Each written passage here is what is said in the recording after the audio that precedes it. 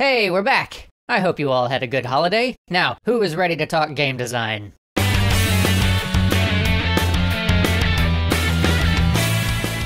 We've all had those moments in Civilization or Total War where we've won. We know we've won. There's absolutely nothing the computer can do to come back. But it's gonna take another four hours of repetitive slogging before the computer realizes that we have won, before we get to the win screen and the game acknowledges our victory. Even in great strategy games like those, this is often the weakest part of the experience. So today, let's dive into why it happens and why it's so hard to design around. The problem of having to sit around and go through the motions to finish a strategy game that any reasonable human being would clearly say you've already won stems from one very important but very difficult to manage aspect of strategic game design uncertainty.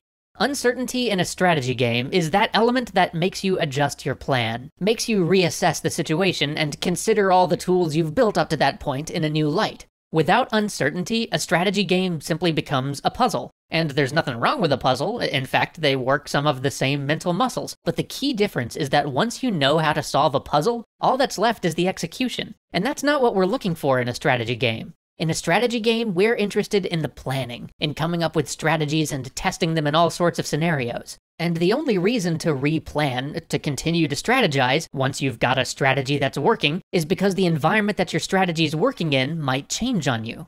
Uncertainty forces you to plan for contingencies and to rethink your strategy, because that's what we play strategy games for. Now, it's important to not confuse uncertainty with randomness here. Uncertainty comes in lots of forms, and randomness can be one of them. But more often, uncertainty comes in the form of hidden information, unexpected events, or even simply playing against a player who might make some unpredictable moves that will force you to reconsider your strategy. Taking Civilization as an example, you'll find that the early phase of the game is filled with uncertainty. The map is almost blank, you don't know who your opponents are, where they are, or even how big of a landmass you're on. Then, as you start to explore, your plan shifts as you discover what resources are within reach, as you run into other civilizations and have to work around their borders, or even as you discover goodies in those friendly villages, or the less friendly barbarian camps. But you'll notice that this uncertainty slowly declines over the course of the game, bottoming out once most of the early wonder building is done and you've figured out which victory condition most of the computer players seem to be going for. Now, this lack of uncertainty is compounded by the fact that, in Civilization, like in most single player strategy games, advantages are cumulative. In most single player strategy games, if you're doing well, you'll have access to more units, more resources, more abilities or powers to help you deal with whatever gets thrown at you. This creates two problems. First, at the point where many strategy video games devolve into being puzzles, because you no longer have to adjust your strategy to win, you've actually already solved the puzzle. There's nothing engaging or challenging left to strategize around while finishing the game, because you're already so far ahead. But second, and perhaps more interesting, is the fact that this makes uncertainty much harder for the designer to build in, as for the player who's already way ahead, a minor uncertainty is practically irrelevant it essentially doesn't function as an uncertainty anymore, because the player is winning so hard that they don't have to change their plan at all to deal with it. If a game suddenly hits you with an unexpected penalty that results in you producing two less food per turn, well, if you're already producing a surplus of 50 food every turn, you don't really have to change what you're doing, do you? Oh no, my two food, what am I gonna, ah, uh, oh no. And like, if some opponent decides to attack you with their flintlock rifle squads, but you've got laser tanks, you're just gonna sweep them aside no problem. Their attack may have technically been unpredictable, but it sure didn't give you any reason to rethink your strategy. And this is a problem because if minor uncertainties are no longer effective, that brings up the question of major uncertainties. And major uncertainties are difficult to design because, as much as we've talked about uncertainty being a good thing, in some ways, uncertainty is antithetical to strategic play. Creating a strategy for anything involves making predictions about the future, about what results your actions will have. The more information you have, the more effective a strategy you can create. Or, to put it another way, the less uncertainty there is, the more strategic you can be. So, how do we balance this? How do we balance creating strategic play while giving the player enough uncertainty that they need to keep making new strategies to deal with or anticipate the unknown?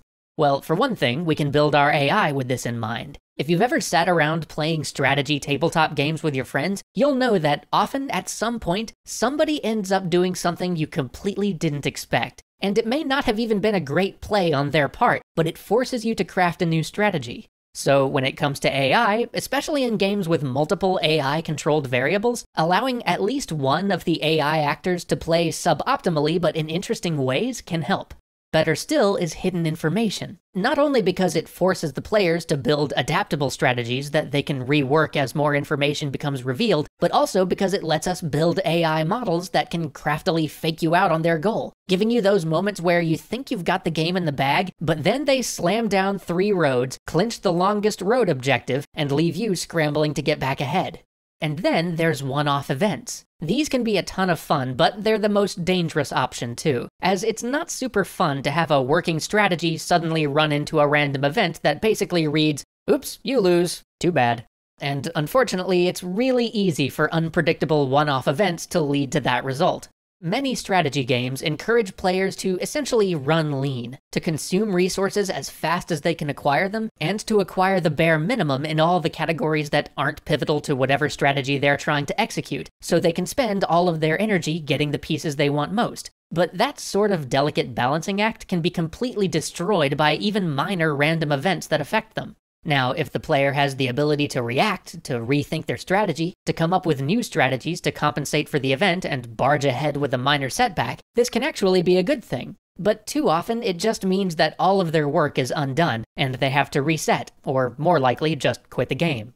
Here, one of the best techniques I've found is to make events positive, to have unexpected random things give bonuses instead of penalties. But if you do want to put in negative events, just be sure to allow for a lot of flexibility. For example, you can make it so that the event affects players differently based on their ranking. Like, say a volcano blows up, the player in first place has to provide rescue crews, massive amounts of aid, has to divert ships for refugees and such, while the player in last place just has to provide a small amount of food to the effort. And optimally, they'll both be rewarded in some way if they successfully deal with the crisis. You can also provide players several different approaches to dealing with your events. Let's say the Earth is dying event occurs. You can approach this by racing to colonize other planets, or you could use science to find a way to essentially terraform your dying Earth. You could use your industrial might to burrow below the surface, or rework your economy to live more in harmony with nature and let the Earth recover. This way, all the civilizations that didn't focus exclusively on spaceflight aren't simply doomed when that random event happens.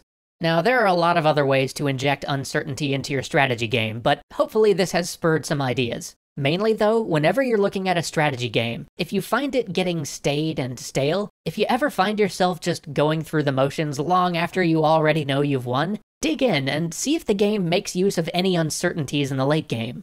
Just don't judge the designers too harshly. It's a really tough task to balance a well honed system which you can plan and strategize around while having uncertainties that make that system always feel fresh. No one said design was easy. See you next week.